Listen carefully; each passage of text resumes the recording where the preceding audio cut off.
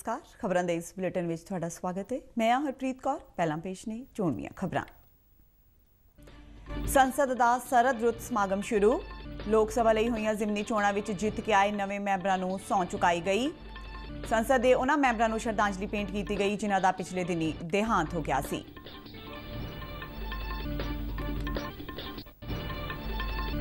ਪ੍ਰਧਾਨ ਮੰਤਰੀ ਨਰਿੰਦਰ ਮੋਦੀ ਨੇ ਕਿਹਾ ਕਿ ਸੰਸਦ ਵਿੱਚ ਹਰ ਮੁੱਦੇ ਤੇ ਉੱਚ ਦਰਜੇ ਦੀ ਚਰਚਾ ਕੀਤੀ ਜਾਣੀ ਚਾਹੀਦੀ ਹੈ।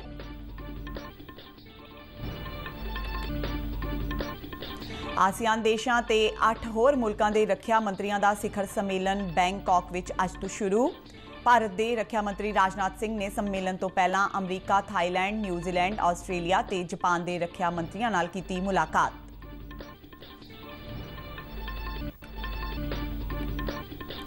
ਤੇ ਰਾਸ਼ਟਰਪਤੀ ਕੋਵਿੰਦ ਨੇ ਜਸਟਿਸ ਬੋਬਡੇ ਨੂੰ ਦੇਸ਼ ਦੇ 47ਵੇਂ ਚੀਫ ਜਸਟਿਸ ਵਜੋਂ ਸਹੁੰ ਚੁਕਾਈ। ਤੇ ਹੁਣ ਖਬਰਾਂ ਵਿਸਥਾਰ ਨਾਲ। ਸੰਸਦ ਦਾ ਸਰਦ ਰੁੱਤ ਸਮਾਗਮ ਅੱਜ ਤੋਂ ਸ਼ੁਰੂ ਹੋ ਗਿਆ ਹੈ ਸੰਸਦ ਦੇ ਦੋਹਾਂ ਸਦਨਾਂ ਦਾ ਇਹ ਸਮਾਗਮ 13 ਦਸੰਬਰ ਤੱਕ ਚੱਲੇਗਾ। ਲੋਕ ਸਭਾ ਦੀ ਅੱਜ ਸਵੇਰੇ ਸ਼ੁਰੂ ਹੋਈ ਕਾਰਵਾਈ ਵਿੱਚ ਸਭ ਤੋਂ ਪਹਿਲਾਂ ਸਪੀਕਰ ਓਮ ਬਿਰਲਾ ਨੇ ਉਹਨਾਂ ਨਵੇਂ ਮੈਂਬਰਾਂ ਨੂੰ ਸਹੁੰ ਚੁਕਾਈ, ਜਿਹੜੇ ਹੁਣੇ ਜਏ ਹੋਈਆਂ ਜ਼ਿਮਨੀ ਚੋਣਾਂ ਵਿੱਚ ਚੁਣ ਕੇ ਆਏ ਸਨ। ਨਵੇਂ ਮੈਂਬਰਾਂ ਨੂੰ ਸਹੁੰ ਚੁਕਾਉਣ ਤੋਂ ਬਾਅਦ ਉਹਨਾਂ ਸਿਆਸੀ ਨੇਤਾਵਾਂ ਨੂੰ ਸ਼ਰਧਾਂਜਲੀ ਦਿੱਤੀ ਗਈ। ਜਿਨ੍ਹਾਂ ਦਾ ਨਵੀਂ ਲੋਕ ਸਭਾ ਦੇ ਗਠਨ ਤੋਂ ਬਾਅਦ ਦੇਹਾਂਤ ਹੋ ਗਿਆ ਸੀ ਸਦਨ ਨੇ ਉਹਨਾਂ ਦੀ ਯਾਦ ਵਿੱਚ 2 ਮਿੰਟ ਦਾ ਮੌਨ ਵੀ ਰੱਖਿਆ ਜਿਨ੍ਹਾਂ ਹਸਤੀਆਂ ਨੂੰ ਸ਼ਰਧਾਂਜਲੀ ਦਿੱਤੀ ਗਈ ਉਹਨਾਂ ਵਿੱਚ ਵਿਦੇਸ਼ ਮੰਤਰੀ ਸੁਸ਼ਮਾ ਸਵਰਾਜ ਕੇਂਦਰੀ ਖਜ਼ਾਨਾ ਮੰਤਰੀ ਅਰੁਣ ਜੇਤਲੀ ਤੇ ਸਾਬਕਾ ਕੇਂਦਰੀ ਮੰਤਰੀ ਤੇ ਸੀਨੀਅਰ ਐਡਵੋਕੇਟ ਰਾਮ ਜੇਠਮਲਾਨੀ ਵੀ ਸ਼ਾਮਿਲ ਸਨ ਸਪੀਕਰ ਓਮ ਬਿਰਲਾ ਨੇ ਇਹਨਾਂ ਨੇਤਾਵਾਂ ਨੂੰ ਸ਼ਰਧਾਂਜਲੀ ਦਿੰਦਿਆਂ ਉਹਨਾਂ ਵੱਲੋਂ ਸੰਸਦੀ ਕਾਰਵਾਈ ਅਤੇ ਦੇਸ਼ ਦੇ ਵਿਕਾਸ ਲਈ ਪਾਏ ਗਏ ਯੋਗਦਾਨ ਦਾ ਵਿਸ਼ੇਸ਼ ਜ਼ਿਕਰ ਕੀਤਾ ਇਸੇ ਦੌਰਾਨ माननीय सदस्यगण मुझे सभा को हमारे नौ भूतपूर्व सदस्य और राज्यसभा के वर्तमान सदस्य doctor Sudhir Rai, Shri Raja Paramasivam, Shrimati Sushma Swaraj, Shri Jagannath Mishra, Shri Arun Jaitley ji, Shri Sukhdev Singh, Shri Ram Jethmalani, doctor Narmali Shiv Prasad Shri B L Sharma Prem और गुरदास दास गुप्त के दुखद निधन के बारे में सूचित करना है ਇਸੇ ਦੌਰਾਨ ਸਦਨ ਵਿੱਚ ਵਿਰੋਧੀ ਧਿਰ ਦੇ ਮੈਂਬਰਾਂ ਨੇ ਕਈ ਮੁੱਦਿਆਂ ਨੂੰ ਉਠਾਉਂਦਿਆਂ ਲਗਾਤਾਰ ਨਾਅਰੇਬਾਜ਼ੀ ਕੀਤੀ ਅਤੇ ਰੌਲਾ ਰੱਪਾ ਪਾਇਆ ਪ੍ਰਧਾਨ ਮੰਤਰੀ ਨਰਿੰਦਰ ਮੋਦੀ ਨੇ ਕਿਹਾ ਹੈ ਕਿ ਸੰਸਦ ਵਿੱਚ ਦੇਸ਼ ਦੇ ਸਾਰੇ ਹੀ ਮਹੱਤਵਪੂਰਨ ਮੁੱਦਿਆਂ ਤੇ ਉੱਚ ਦਰਜੇ ਦੀ ਚਰਚਾ ਕੀਤੀ ਜਾਣੀ ਚਾਹੀਦੀ ਹੈ ਦਿੱਲੀ ਵਿੱਚ ਅੱਜ ਪੱਤਰਕਾਰਾਂ ਨਾਲ ਗੱਲਬਾਤ ਕਰਦਿਆਂ ਉਹਨਾਂ ਕਿਹਾ ਕਿ ਇਹ ਮਾਣ ਵਾਲੀ ਗੱਲ ਹੈ ਕਿ ਅੱਜ ਰਾਜ ਸਭਾ ਦਾ 250ਵਾਂ ਇਜਲਾਸ ਸ਼ੁਰੂ ਹੋਇਆ ਹੈ ਉਹਨਾਂ ਕਿਹਾ ਕਿ ਰਾਜ ਸਭਾ ਤੇ ਇਸ ਦੇ ਮੈਂਬਰ ਉਹਨਾਂ ਮਹੱਤਵਪੂਰਨ ਬਿੱਲਾਂ ਨੂੰ ਪਾਸ ਅਤੇ ਲਾਗੂ ਕਰਵਾਉਣ ਦੇ ਗਵਾਹ ਰਹੇ ਨੇ ਜਿਨ੍ਹਾਂ ਨੇ ਦੇਸ਼ ਦੇ ਵਿਕਾਸ ਨੂੰ ਨਵੀਂ ਸੇਧ ਦਿੱਤੀ ਉਹਨਾਂ ਆਸ ਪ੍ਰਗਟਾਈ ਕਿ ਸੰਸਦ ਦੀ ਅੱਜ ਤੋਂ ਸ਼ੁਰੂ ਹੋਈ ਕਾਰਵਾਈ ਪਿਛਲੀ ਸੰਸਦ ਵਾਂਗ ਹੀ ਸਫਲ ਰਹੇਗੀ 2019 का ये आखिरी सत्र है। और ये बहुत महत्वपूर्ण सत्र भी है, क्योंकि राज्यसभा का ये 250वां सत्र है। 250 सत्रों की अपनी की यात्रा का बहुत ही प्रेरक स्मृतियों के साथ राज्यसभा का 250वां सत्र प्रारंभ हो रहा है। उसी प्रकार से इसी सत्र के दरमियान 26 तारीख को हमारा संविधान दिवस है, जबकि हमारे संविधान के 70 साल हो रहे हैं। ये संविधान देश की एकता, अखंडितता, भारत की विविधता भारत के सौंदर्य को अपने में समेटे हुए हैं ਆਸੀਆਨ ਮੁਲਕਾਂ ਦਾ 6ਵਾਂ ਸਿਖਰ ਸੰਮੇਲਨ ਅੱਜ ਤੋਂ ਥਾਈਲੈਂਡ ਦੀ ਰਾਜਧਾਨੀ ਬੈਂਕਾਕ ਵਿੱਚ ਸ਼ੁਰੂ ਹੋ ਰਿਹਾ ਹੈ ਭਾਰਤ ਦੇ ਰੱਖਿਆ ਮੰਤਰੀ ਰਾਜਨਾਥ ਸਿੰਘ ਸਮੇਤ ਆਸੀਆਨ ਦੇ ਮੈਂਬਰ ਮੁਲਕਾਂ ਤੇ 8 ਹੋਰ ਦੇਸ਼ਾਂ ਦੇ ਰੱਖਿਆ ਮੰਤਰੀ ਇਸ ਸੰਮੇਲਨ ਵਿੱਚ ਹਿੱਸਾ ਲੈ ਰਹੇ ਨੇ ਰਾਜਨਾਥ ਸਿੰਘ ਨੇ ਇਸ ਸੰਮੇਲਨ ਤੋਂ ਪਹਿਲਾਂ ਕੱਲ੍ਹ ਅਮਰੀਕਾ ਦੇ ਰੱਖਿਆ ਮੰਤਰੀ ਮਾਰਕ ਐਸਪਰ ਨਾਲ ਮੁਲਾਕਾਤ ਕੀਤੀ ਦੋਹਾਂ ਨੇਤਾਵਾਂ ਨੇ ਭਾਰਤ ਅਤੇ ਅਮਰੀਕਾ ਵਿਚਾਲੇ ਵਧ ਰਹੇ ਰੱਖਿਆ ਸਬੰਧਾਂ ਤੇ ਖੁਸ਼ੀ ਜ਼ਾਹਿਰ ਕਰਦਿਆਂ ਕਿਹਾ ਕਿ ਰੱਖਿਆ ਤੇ ਸੁਰੱਖਿਆ ਅਰਥਚਾਰੇ ਊਰਜਾ ਤੇ ਅੱਤਵਾਦ ਉੱਪਰ ਸ਼ਿਕੰਜਾ ਕੱਸਣ ਦੇ ਖੇਤਰਾਂ ਵਿੱਚ ਦੋਹਾਂ ਦੇਸ਼ਾਂ ਵਿਚਾਲੇ ਸਹਿਯੋਗ ਮਜ਼ਬੂਤ ਹੋ ਰਿਹਾ ਹੈ। ਰਾਜਨਾਥ ਸਿੰਘ ਨੇ ਐਸਪਰ ਨੂੰ ਦੱਸਿਆ ਕਿ ਹਿੰਦ ਪ੍ਰਸ਼ਾਂਤ ਖੇਤਰ ਵਿੱਚ ਭਾਰਤ ਅਤੇ ਅਮਰੀਕਾ ਵਿਚਾਲੇ ਰਜ਼ਾਮੰਦੀ ਲਗਾਤਾਰ ਵਧ ਰਹੀ ਹੈ ਤੇ ਭਾਰਤ ਇਸ ਖੇਤਰ ਨੂੰ ਸ਼ਾਂਤੀਪੂਰਨ ਅਤੇ ਖੁਸ਼ਹਾਲ ਬਣਾਉਣ ਦੇ ਪੱਖ ਵਿੱਚ ਹੋਵੇਗਾ। ਉਹਨਾਂ ਕਿਹਾ ਕਿ ਦੋਹਾਂ ਦੇਸ਼ਾਂ ਨੂੰ ਇਸ ਮੰਤਵ ਲਈ ਨੀਮਾ ਦੀ ਪਾਲਣਾ ਦੇ ਨਾਲ-ਨਾਲ ਇੱਕ ਦੂਜੇ ਦੀ ਪ੍ਰਭੂਸੱਤਾ ਅਤੇ ਖੇਤਰੀ ਅਖੰਡਤਾ ਦਾ ਸਨਮਾਨ ਵੀ ਕਰਨਾ ਹੋਵੇਗਾ। ਰਾਜਨਾਥ ਸਿੰਘ ਨੇ ਥਾਈਲੈਂਡ ਦੇ ਉਪ ਪ੍ਰਧਾਨ ਮੰਤਰੀ ਜਨਰਲ ਪ੍ਰਾਵਿਤ ਵਾਂਗਸੁਵਾਨ, ਜਾਪਾਨ ਦੇ ਰੱਖਿਆ ਮੰਤਰੀ ਤਾਰੋ ਕੋਨੋ ਆਸਟ੍ਰੇਲੀਆ ਦੇ ਰੱਖਿਆ ਮੰਤਰੀ ਲਿੰਡਾ ਰਿਨੋਲ ਤੇ ਨਿਊਜ਼ੀਲੈਂਡ ਦੇ ਰੱਖਿਆ ਮੰਤਰੀ ਰੋਨ ਮਾਰਕ ਨਾਲ ਵੀ ਦੁਵੱਲੀਆਂ ਮੀਟਿੰਗਾਂ ਕੀਤੀਆਂ।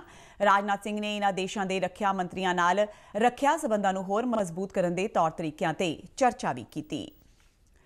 ਸੂਚਨਾ ਤੇ ਪ੍ਰਸਾਰਣ ਮੰਤਰੀ ਪ੍ਰਕਾਸ਼ ਜਾਵੜੇਕਰ ਨੇ ਝਾਰਖੰਡ ਦੇ ਆਪਣੇ ਦੌਰੇ ਦੌਰਾਨ ਕੱਲ ਰਾਂਚੀ ਵਿੱਚ ਕਿਹਾ ਕਿ ਸੂਬੇ ਦੀਆਂ ਵਿਧਾਨ ਸਭਾ ਚੋਣਾਂ ਤੋਂ ਬਾਅਦ ਭਾਰਤੀ ਜਨਤਾ ਪਾਰਟੀ ਮੁੜ ਤੋਂ ਆਪਣੀ ਸਰਕਾਰ ਬਣਾਏਗੀ। ਉਹਨਾਂ ਪਾਰਟੀ ਦੀ ਮੀਡੀਆ ਟੀਮ ਦੇ ਮੈਂਬਰਾਂ ਨਾਲ ਵੀ ਮੁਲਾਕਾਤ ਕੀਤੀ ਤੇ ਪਾਰਟੀ ਦੇ ਮੀਡੀਆ ਸੈਂਟਰ ਦਾ ਉਦਘਾਟਨ ਕੀਤਾ। ਉਹਨਾਂ ਕਿਹਾ ਕਿ ਪਾਰਟੀ ਸਪਸ਼ਟ ਬਹੁਮਤ ਨਾਲ ਸੱਤਾ ਵਿੱਚ ਵਾਪਸੀ ਕਰੇਗੀ। ਉਹਨਾਂ ਕਿਹਾ ਕਿ ਮੁੱਖ ਮੰਤਰੀ ਰਘੁਬਰ ਦਾਸ ਦੀ ਅਗਵਾਈ ਵਿੱਚ ਸੂਬੇ ਦਾ ਚੌਮੁਖੀ ਵਿਕਾਸ ਹੋਇਆ ਏ। ਉਹਨਾਂ ਕਿਹਾ ਕਿ ਸੂਬੇ ਨੂੰ ਪੇਸ਼ ਸਭ ਤੋਂ ਵੱਡੀ ਨਕਸਲੀਆਂ ਦੀ ਸਮੱਸਿਆ ਦਾ ਹੱਲ ਹੋ ਗਿਆ ਏ ਤੇ ਸੂਬਾ ਤੇਜ਼ੀ ਨਾਲ ਵਿਕਾਸ ਵੱਲ ਵਧ ਰਿਹਾ ਏ। ਉਹਨਾਂ ਕਿਹਾ ਕਿ ਪਾਰਟੀ ਇਹ ਚੋਣਾਂ ਭ੍ਰਿਸ਼ਟਾਚਾਰ ਨੂੰ ਖਤਮ ਕਰਨ, ਵਿਕਾਸ ਅਤੇ ਲੋਕਾਂ ਨੂੰ ਵਧੀਆ ਸ਼ਾਸਨ ਮੁਹੱਈਆ ਕਰਾਉਣ ਦੇ ਮੁੱਦਿਆਂ ਤੇ ਲੜ ਰਹੀ ਹੈ। ਰਾਸ਼ਟਰਪਤੀ ਰਾਮਨਾਥ ਕੋਵਿੰਦ ਨੇ ਅੱਜ ਜਸਟਿਸ ਐਸਏ ਬੋਬੜੇ ਨੂੰ ਦੇਸ਼ ਦੇ ਨਵੇਂ ਚੀਫ ਜਸਟਿਸ ਵਜੋਂ ਸਹੁੰ ਚੁਕਾਈ। ਰਾਸ਼ਟਰਪਤੀ ਭਵਨ ਵਿੱਚ ਆਯੋਜਿਤ ਕੀਤੇ ਗਏ ਇੱਕ ਸਮਾਗਮ ਦੌਰਾਨ ਰਾਸ਼ਟਰਪਤੀ ਨੇ ਉਹਨਾਂ ਨੂੰ ਅਹੁਦੇ ਦੀ ਸਹੁੰ ਚੁਕਾਈ। ਇਸ ਮੌਕੇ ਸਮਾਗਮ ਵਿੱਚ ਪ੍ਰਧਾਨ ਮੰਤਰੀ ਨਰਿੰਦਰ ਮੋਦੀ, ਗ੍ਰਹਿ ਮੰਤਰੀ ਅਮਿਤ ਸ਼ਾਹ, ਸਾਬਕਾ ਪ੍ਰਧਾਨ ਮੰਤਰੀ ਡਾਕਟਰ ਮਨਮੋਹਨ ਸਿੰਘ ਤੇ ਸਾਬਕਾ ਚੀਫ ਜਸਟਿਸ ਰੰਜਨ ਗਗੋਈ ਸਮੇਤ ਹੋਰ ਕਈ ਕੇਂਦਰੀ ਮੰਤਰੀ ਤੇ ਅਧਿਕਾਰੀ ਮੌਜੂਦ ਸਨ। ਜਸਟਿਸ ਬੋਬੜੇ ਨੇ ਦੇਸ਼ ਦੇ 47ਵੇਂ ਚੀਫ ਜਸਟਿਸ ਵਜੋਂ ਆਪਣਾ ਅਹੁਦਾ ਸੰਭਾਲਿਆ ਹੈ ਤੇ ਉਹਨਾਂ ਨੂੰ ਸਾਬਕਾ ਚੀਫ ਜਸਟਿਸ ਰੰਜਨ ਗਗੋਈ ਦੀ ਥਾਂ ਤੇ ਨਿਯੁਕਤ ਕੀਤਾ ਗਿਆ ਹੈ ਜੋ ਕੱਲ ਸੇਵਾ ਮੁਕਤ ਹੋ ਗਏ ਸਨ। ਜੰਮੂ ਕਸ਼ਮੀਰ ਦੇ ਅਖਨੂਰ ਸੈਕਟਰ ਵਿੱਚ ਕੰਟਰੋਲ ਰੇਖਾ ਨਾਲ ਲੱਗਦੇ ਪੱਲਾਂਵਾਲਾ ਇਲਾਕੇ ਵਿੱਚ ਧਮਾਕਾ ਹੋਣ ਨਾਲ ਇੱਕ ਫੌਜੀ ਜਵਾਨ ਸ਼ਹੀਦ ਹੋ ਗਿਆ ਹੈ ਤੇ ਦੋ ਹੋਰ ਜਵਾਨ ਜ਼ਖਮੀ ਹੋ ਗਏ।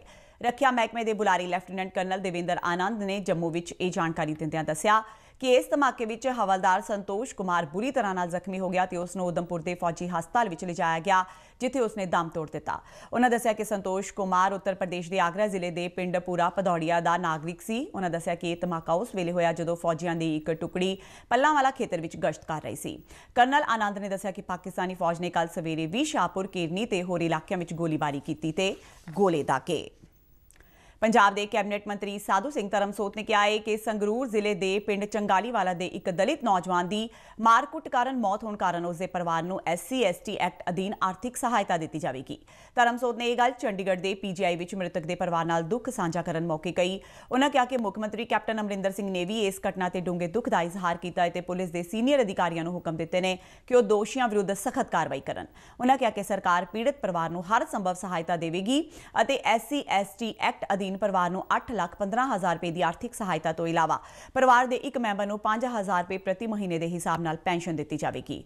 ਉਹਨਾਂ ਭਰੋਸਾ ਦਵਾਇਆ ਕਿ ਪਰਿਵਾਰ ਦੇ ਇੱਕ ਮੈਂਬਰ ਨੂੰ ਨੌਕਰੀ ਦੇਣ ਲਈ ਵੀ ਜਲਦੀ ਹੀ ਲੋੜੀਂਦੇ ਕਦਮ ਚੁੱਕੇ ਜਾਣਗੇ। ਸ਼੍ਰੀ ਗੁਰੂ ਨਾਨਕ ਦੇਵ ਜੀ ਦੇ 550ਵੇਂ ਪ੍ਰਕਾਸ਼ ਪੁਰਬ ਨੂੰ ਸਮਰਪਿਤ ਦੋ ਦਿਨਾਂ ਤੈਰਦਾਰ ਰੋਸ਼ਨੀ ਤੇ ਆਵਾਜ਼ ਸ਼ੋਅ ਅੱਜ ਚੰਡੀਗੜ੍ਹ ਦੀ ਸੁਖਨਾ ਝੀਲ ਵਿੱਚ ਆਯੋਜਿਤ ਕੀਤਾ ਜਾਵੇਗਾ। ਇਹ ਸ਼ੋਅ ਪੰਜਾਬ ਸਰਕਾਰ ਵੱਲੋਂ ਚੰਡੀਗੜ੍ਹ ਪ੍ਰਸ਼ਾਸਨ ਦੇ ਸਹਿਯੋਗ ਨਾਲ ਕੀਤਾ ਜਾ ਰਿਹਾ ਹੈ ਇਹ ਜਾਣਕਾਰੀ ਦਿੰਦਿਆਂ ਇੱਕ ਸਰਕਾਰੀ ਬੁਲਾਰੇ ਨੇ ਕਿਹਾ ਕਿ ਇਸ ਸ਼ੋਅ ਲਈ ਸਾਰੇ ਪ੍ਰਬੰਧ ਮੁਕੰਮਲ ਕਰ ਲਏ ਗਏ ਨੇ ਤੇ ਇਸ ਦਾ ਪਹਿਲਾ ਸ਼ੋਅ ਅੱਜ ਸ਼ਾਮ 7 ਵਜੇ ਤੋਂ ਪੌਣੇ 8 ਵਜੇ ਤੱਕ ਤੇ ਦੂਜਾ ਸ਼ੋਅ ਪੌਣੇ 9 ਵਜੇ ਤੋਂ 9 ਵਜੇ ਤੱਕ ਆਯੋਜਿਤ ਕੀਤਾ ਜਾਵੇਗਾ। ਤੇ ਇਸੇ ਤਰ੍ਹਾਂ ਕੱਲ ਵੀ ਇਹਨਾਂ ਸਮਿਆਂ ਤੇ ਹੀ ਇਹ ਸ਼ੋਅ ਹੋਣਗੇ। ਬੁਲਾਰੇ ਨੇ ਕਿਹਾ ਕਿ ਰੋਸ਼ਨੀ ਤੇ ਆਵਾਜ਼ ਸ਼ੋਅ ਦੌਰਾਨ ਸ਼੍ਰੀ ਗੁਰੂ ਨਾਨਕ ਦੇਵ ਜੀ ਦੀਆਂ ਸਿੱਖਿਆਵਾਂ ਅਤੇ ਫਲਸਫੇ ਨੂੰ ਲੇਜ਼ਰ ਤਕਨੀਕ ਰਾਹੀਂ ਪ੍ਰਦਰਸ਼ਿਤ ਕੀਤਾ ਜਾਂਦਾ ਹੈ ਪੰਜਾਬ ਸਰਕਾਰ ਤੇ ਚੰਡੀਗੜ੍ਹ ਪ੍ਰਸ਼ਾਸਨ ਨੇ ਲੋਕਾਂ ਨੂੰ ਇਸ ਸ਼ੋਅ ਦਾ ਹਿੱਸਾ ਬਣਨ ਲਈ ਖੁੱਲਾ ਸੱਦਾ ਦਿੱਤਾ ਹੈ ਤੇ ਕਿਹਾ ਹੈ ਕਿ ਇਸ ਸ਼ੋਅ ਲਈ ਕੋਈ ਦਾਖਲਾ ਜਾਂ ਹੋਰ ਕੋਈ ਫੀਸ ਨਹੀਂ ਵਸੂਲੀ ਜਾਵੇਗੀ। 13ਵਾਂ ਕੌਮੀ ਸ਼ਾਟਗਨ ਨਿਸ਼ਾਨੇਬਾਜ਼ੀ ਟੂਰਨਾਮੈਂਟ ਕੱਲ ਨਵੀਂ ਦਿੱਲੀ ਵਿੱਚ ਸ਼ੁਰੂ ਹੋ ਗਿਆ। ਇਹ ਟੂਰਨਾਮੈਂਟ ਦਿੱਲੀ ਦੀ ਡਾਕਟਰ ਕਰਨੀ ਸਿੰਘ ਨਿਸ਼ਾਨੇਬਾਜ਼ੀ ਰੇਂਜ ਵਿੱਚ ਮਹਿਲਾਵਾਂ ਦੀ ਟਰੈਪ ਕੁਆਲੀਫਿਕੇਸ਼ਨ ਮੁਕਾਬਲੇ ਨਾਲ ਸ਼ੁਰੂ ਹੋਇਆ। ਇਸ ਨਿਸ਼ਾਨੇਬਾਜ਼ੀ ਦੇ ਸੀਨੀਅਰ ਤੇ ਜੂਨੀਅਰ ਵਰਗ ਦੇ ਮੁਕਾਬਲਿਆਂ ਵਿੱਚ 71 ਖਿਡਾਰਨਾਂ ਹਿੱਸਾ ਲੈ ਰਹੀਆਂ ਨੇ। ਨਿਸ਼ਾਨੇਬਾਜ਼ੀ ਦੇ ਫਾਈਨਲ ਅੱਜ ਖੇਡੇ ਜਾਣਗੇ। ਇਹਨਾਂ ਮੁਕਾਬਲਿਆਂ ਤੋਂ ਬਾਅਦ ਮਰਦਾਂ ਦੇ ਮੁਕਾਬਲੇ ਸ਼ੁਰੂ ਹੋਣਗੇ, ਜੋ 20 ਤੋਂ 22 ਨਵੰਬਰ ਤੱਕ ਚੱਲਣਗੇ। ਮਿਕਸਡ ਟਰੈਪ ਮੁਕਾਬਲੇ 23 ਨਵੰਬਰ ਨੂੰ ਹੋਣਗੇ ਤੇ 3 ਨਵੰਬਰ ਨੂੰ ਮਿਕਸਡ ਸਕੀਟ ਟੀਮ ਮੁਕਾਬਲਿਆਂ ਵਿੱਚ ਇਹ ਟੂਰਨਾਮੈਂਟ ਸੰਪੰਨ ਹੋ ਜਾਵੇਗਾ। ਭਾਰਤੀ ਮਹਿਲਾ ਮੁੱਕੇਬਾਜ਼ਾਂ ਨੇ ਏਸ਼ੀਆਈ ਯੂਥ ਮੁੱਕੇਬਾਜ਼ੀ ਚੈਂਪੀਅਨਸ਼ਿਪ ਵਿੱਚ 5 ਸੋਨ ਤਮਗੇ ਜਿੱਤੇ ਨੇ, ਜਦਕਿ ਮਰਦਾਂ ਦੇ ਵਰਗ ਵਿੱਚ ਮੁੱਕੇਬਾਜ਼ਾਂ ਨੇ ਚਾਂਦੀ ਦੇ 2 ਤਮਗੇ ਹਾਸਲ ਕੀਤੇ ਨੇ। ਮੰਗੋਲੀਆ ਵਿੱਚ ਚੱਲ ਰਹੀ ਏਸ਼ੀਆਈ ਮੁੱਕੇਬਾਜ਼ੀ ਵਿੱਚ ਭਾਰਤੀ ਮਹਿਲਾ ਮੁੱਕੇਬਾਜ਼ਾਂ ਐਨ ਚਾਨੂ ਨੇ 51 ਕਿਲੋ, ਵਿੰਕਾ ਨੇ 64 ਕਿਲੋ, ਐਸ ਚਾਨੂ ਨੇ 75 ਕਿਲੋ, ਪੂਨਮ ਨੇ 54 ਕਿਲੋ ਤੇ ਸੁਸ਼ਮਾ ਨੇ 81 ਕਿਲੋ ਭਾਰ ਵਰਗ ਵਿੱਚ ਇੱਕ ਇੱਕ ਸੋਨ ਤਮਗਾ ਜਿੱਤਿਆ ਹੈ ਮਰਦਾਂ ਦੇ ਵਰਗ ਵਿੱਚ ਸਾਈ ਨੇ 49 ਕਿਲੋ ਭਾਰ ਵਰਗ ਵਿੱਚ ਅਤੇ ਅੰਕਿਤ ਨਰਵਾਨ ਨੇ 60 ਕਿਲੋ ਭਾਰ ਵਰਗ ਵਿੱਚ ਚਾਂਦੀ ਦੇ ਤਮਗੇ ਹਾਸਿਲ ਕੀਤੇ। ਭਾਰਤ ਨੂੰ ਇਸ ਮੁੱਕੇਬਾਜ਼ੀ ਮੁਕਾਬਲੇ ਵਿੱਚ ਸੋਨੇ ਦੇ 5 ਅਤੇ ਚਾਂਦੀ ਦੇ 2 ਅਤੇ ਕਾਂਸੇ ਦੇ 5 ਤਮਗੇ ਹਾਸਲ ਹੋਏ ਨੇ। ਕਾਂਸੇ ਦੇ ਤਮਗੇ ਜਿੱਤਣ ਵਾਲਿਆਂ ਵਿੱਚ ਅਰੁੰਦਤੀ ਚੌਧਰੀ, ਕੋਮਲਪ੍ਰੀਤ ਕੌਰ, ਜੈਸਮਿਨ, ਸਤਿੰਦਰ ਸਿੰਘ ਤੇ ਅਮਨ ਸ਼ਾਮਿਲ ਨੇ। ਇਸ ਦੇ ਨਾਲ ਹੀ ਖਬਰਾਂ ਦਾ ਇਹ ਬੁਲੇਟਿਨ ਖਤਮ ਹੁੰਦਾ ਹੈ। ਆਗਿਆ ਦਿਓ। ਨਮਸਕਾਰ।